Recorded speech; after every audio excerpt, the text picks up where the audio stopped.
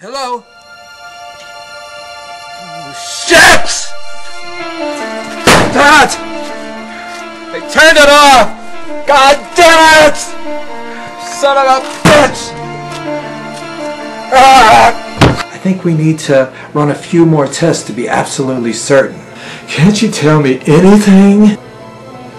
I need something to calm me down. All right. Take a deep breath. Think about this. There are several treatment options that we can give you. And, and the rate of success is about 75%. Thank you so much, Doc. Yeah! I hated the goddamn bastard. And she, she broke the marriage vows! Yeah, I got that, Bobby.